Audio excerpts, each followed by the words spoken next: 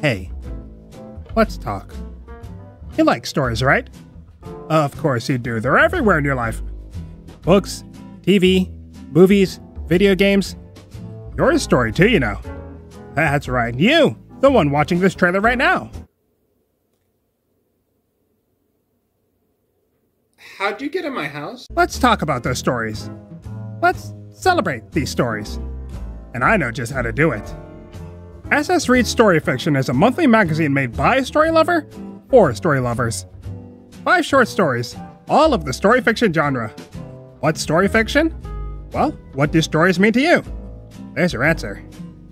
Nonfiction Avenue, where we discuss story theory and I share my personal views on storytelling. Trust me, it'll make you think.